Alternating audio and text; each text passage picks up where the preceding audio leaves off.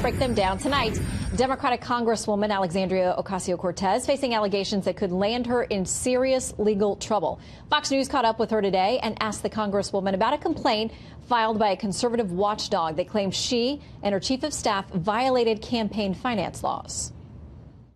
Do you have any comment on the FEC violation uh, filed against your office? Uh, there is no violation, there's no violation. Do you think that's a sign of you taking dark money? Oh, no, no. Okay, let's bring in the former chief counsel for the House Judiciary Committee, Julian Epstein, White House correspondent for the Daily Caller, Saagar and Enjeti, and from the Heritage Foundation, Hans von Spakovsky. By the way, former member of the Federal Election Commission himself. So, Hans, I'll start with you. You've seen the filings. What do you make of the case so far?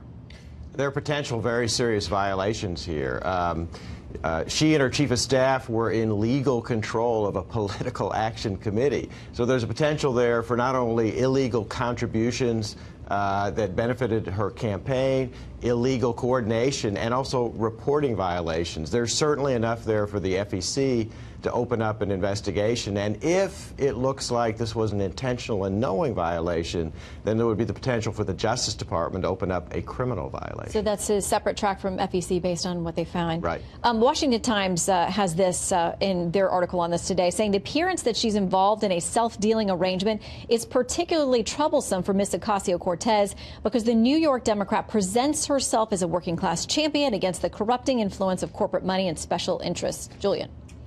Uh, you know, look, the, the, details of this are very, very sketchy at this point. We there's there's 90% of the facts that we don't know and 10% that have been alleged. Um, if they do arise to something that's credible, I think it should be handled the way everything else should be handled when there's a suggestion of a scandal or, or something improper. There should be a, an appropriate investigation, uh, and I don't think uh, whether it's Trump in the White House, whether it's uh, a member of Congress, I, I think the idea of trying to argue against an investigation when there's credible, uh, if there are credible accusations, is just a, a, a lose-lose uh, argument. Tucker, how much of this do you think is inexperience versus she and her chief of staff being in cahoots and really trying to scam the system, knowing that everyone's going to be looking at them? Yeah, I, I, spoke to a Republican close to the White House and talked about how they, they, they pointed out that inexperience could point to both this and the campaign finance violation, alleged campaign finance violation that the congresswoman was grilling Michael Cohen about, with the allegation of campaign finance violations with regard to the president. And so they said in both cases, it's clear that these things could both be a matter of inexperience. it could be a matter of just ineptitude, but that because of our political system, that both have become high-profile cases, and now she's also in hot water for something similar very much herself. There's one thing that Hans and I probably agree on, Hans being a former commissioner, which is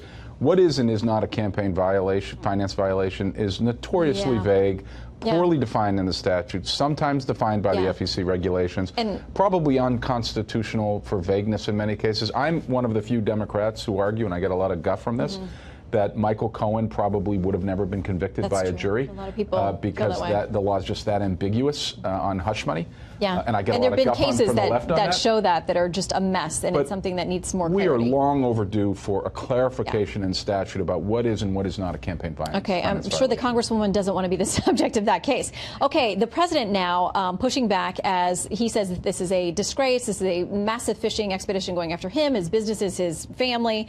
Uh, but Congressman Ted Lieu, Democrat, tweeting this: the fact that our investigation is wide-ranging doesn't mean it's a fishing expedition. It means there are lots of potential fish to catch. Um, Hans, a lot of people are calling this the pre-impeachment phase. What do you make of it?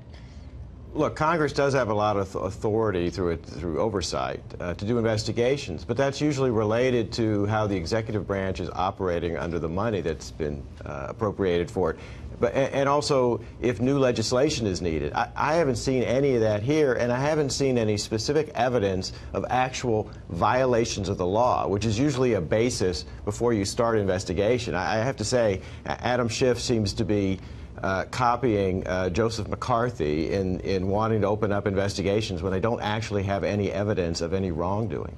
Well, he says they do, and he has a gut feeling about it, and they keep saying, well, we need more facts, but they are making plenty of allegations in the meantime. Stephen Collinson, an analyst, has said this It's basic politics for Democrats not to call their investigations an impeachment drive right now. To do so would hand the GOP a gift, as it claims the fix is already in, Saagar.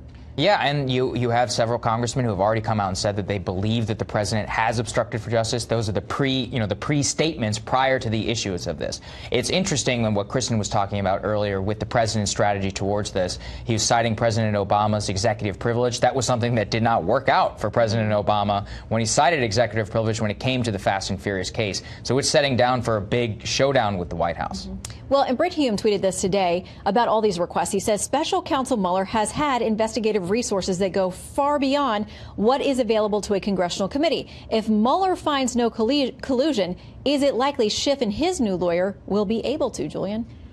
Well, I, there's a lot to unpack here, but I'm going to take the same position I took on the question on Cortez and the campaign finance, which is it's just it seems to me untenable to argue that there shouldn't be investigations. You've got 37 uh, indictments or guilty pleas at this point. You've got over 100 documented contacts during the Trump campaign and transition with the Democrats Russians. don't think the special counsel is going to be able to handle this? Well, they have different purviews and they have different functions. As Hans just said, sometimes the Democratic investigation will look towards legislative reform, and there's a half dozen legislative reforms I can think of that come out that could potentially come out of this. But 37 indictments or guilty pleas, 100 contacts. The, so again, if that's the, being the handled Trump, by the, the special counsel, why do they need to go back and do all of the same requests for documents and the same people and the same information? Well, because this Congress looks at it through a different lens than the special counsel does. The special counsel is looking at impeachment lens? No. The special, not necessarily. The special counsel is looking at whether to prosecute or not prosecute. Period. End of, of, of case. It could make a recommendation on impeachment. Congress can be looking at impeachment. I don't think the impeachment case has yet been made. It might be made. We have to wait and see what the facts show. Congress could be looking at a whole host of other reforms. It could be looking at enforcement on the emoluments clause. It could be looking at whether there should be a statutory basis for prosecution of a president when he leaves office. The, when you're talking about the 100 contacts that ha- were had with the Russians b- during the campaign and transition, sharing of intelligence information, the, the, the Trump team meeting with Russian officials at Again, the all at things the that Trump the special counsel is looking at. Right, but there's but there's a there is a reason for Congress to have a separate process. One is because it may be looking at legislative reform. Two is if you are going to do something, whether it's ultimately a, pro- a decision on prosecution of the president or somebody else, or impeachment or somebody else, you have to make a public case on this. The, the Federalist Papers 65 were very, very instructive on the favorites. question. Yeah. Very, very instructive on the question on impeachment. gotta it was it that it is a political question. You have to make a political Yep. case to the body And- politic and to the and public. we've heard a number of Democrats, including the House Judiciary Chair But Mueller doesn't do that. saying, well, "I'm making a public record now because I have to convince the American people." Before we go for impeachment, we've got to leave it there. and there's a lot to be said for that. Okay. All right.